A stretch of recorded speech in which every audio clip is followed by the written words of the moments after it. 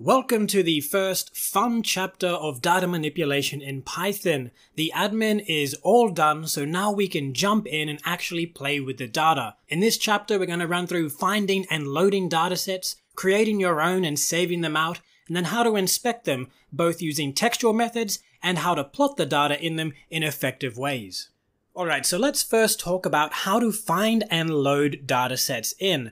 In this course, I've primarily tried to use data from Kaggle. Kaggle is a fantastic resource that I encourage everyone to use, especially if you're looking to build up a portfolio in, let's say, the data science world.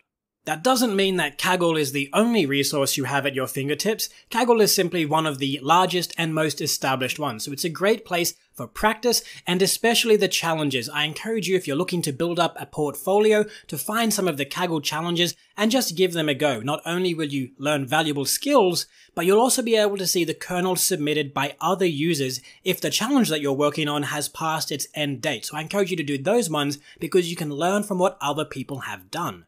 Kaggle normally has data that's been pre-formatted for you, so it's easy to load in, easy to work with, but that's generally not how data in real life always works. If you want something a bit closer to a real world application, I would say learn some basic SQL, and you can find plenty of open sources and open databases online that you can write queries for, submit, and download the data. That gives you tons of practice working with data, just like how you'd find, extract it from a database, merging them all together, super handy to learn, Obviously, not as easy to get started though as working with Kaggle.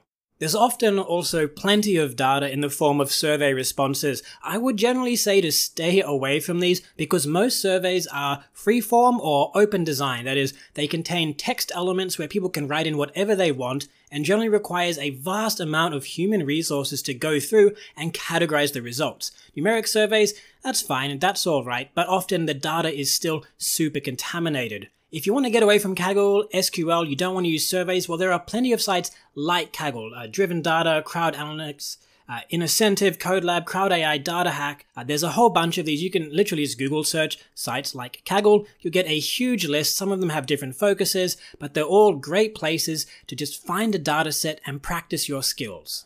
Moving on, what do you do once you actually have a data set? There are, fortunately, a whole bunch of options. Uh, number one is you can manually write in Python a function to load in your data. You can open the file and go through it line by line, extract the data you want, and then close the file. But try to never do this.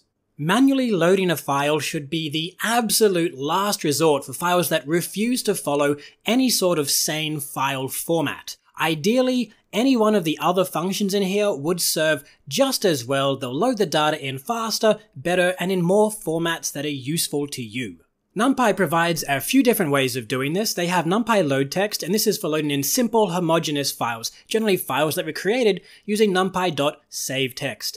If you need something with a bit more freedom, NumPy has genFromText, and that's essentially their version of a CSV reader. But I would say don't use either of those. I'm letting you know they exist so that you know what's out there, but try to always use pandas read CSV. Why? Well, not only is this a course focused on pandas, but it handles so much more than NumPy. It can do so much more and it is incredibly, incredibly robust and incredibly useful. Now, if your data doesn't come in a textual format, things do get a little bit more difficult. It's quite rare, but it can happen. If your file comes as a pickle, you can use Python's pickle library or just pandas.read underscore pickle. If it comes as an HDF5 database, well then you can use pandas.read underscore HD5. Uh, there's Feather, there's Message Pack, uh, there's a whole bunch of different ways. Hopefully if you get a file that isn't text and it's some sort of binary format, you do have instructions to load them in because it can get very messy very quickly. Alright, that's enough talking I think. It's easier to show how these things work